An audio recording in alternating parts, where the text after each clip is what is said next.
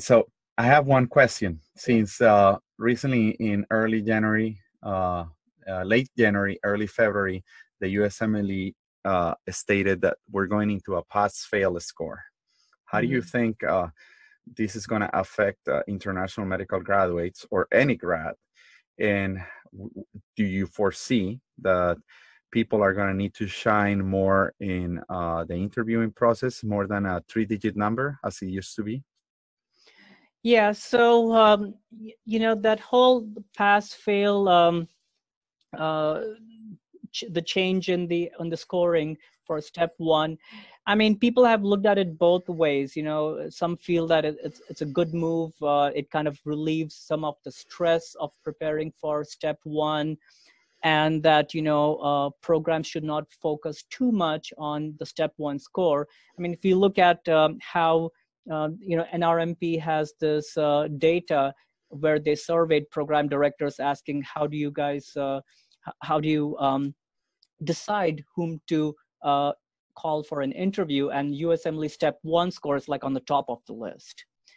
So um, having said that, for an international medical graduate, I think uh, you know there are a couple of ways I've kind of looked at this.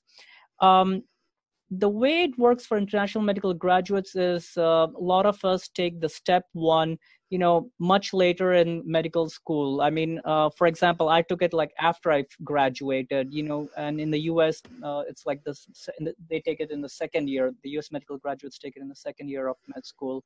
So um and so by the time you know one finishes med school it's very difficult to kind of go back and learn like biochemistry and uh, anatomy and embryology you know those kind of um, Basic sciences. basic exactly basic science that it's very difficult to like be excellent in that and um, so i think from that point of view it's like okay you know uh, we just need to uh, pass uh, in this exam so that's one um, one uh, good thing for international medical graduate and focusing more on the clinical sciences which is really the information you need to take care of the patients.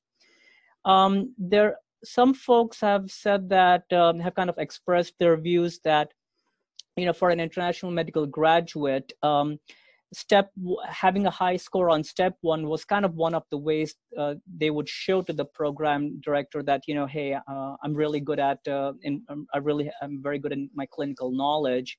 And so some feel that now they don't they would not have the ability to show um, the program director that um, uh, you, know about their uh, clinical knowledge uh, sorry the basic knowledge so um, yes it's so then you know the focus will be more on uh, doing better on the USMLE step 2 ck making sure they pass the step 2 cs the first attempt um, maybe focusing more on clinical experience and research i think it's, it's going to like move uh, the whole uh, the whole uh, method of how program directors decide whom to interview will, will kind of change. How likely is that uh, with this new uh, scoring system, us foreign medical graduates are going to be able to make it into highly competitive specialties and not settle, quote unquote, for internal medicine or family practice uh, like I had to at the very beginning before I went actually into the specialty of my choice, emergency medicine? Yeah, um, I don't think it will change that because, you know, the reason why specialties like ophthalmology, dermatology, orthopedic surgery are competitive, it's not that because, you know, they're looking for high step one scores. Um, I mean, traditionally, um, you know, those specialties, uh, you know, are more accessible to U.S. medical graduates as compared to international medical graduates. So, um, and I, I, and you know, I don't believe it's entirely because of the score, uh, the step one or step two scores. I think it has to do with how you did during your med school and the kind of letters that you have, maybe the kind of research you have done. So um, I, don't, believe the pass step one pass fail system is going to uh, make it more difficult for um, uh, international graduates to get into competitive specialties.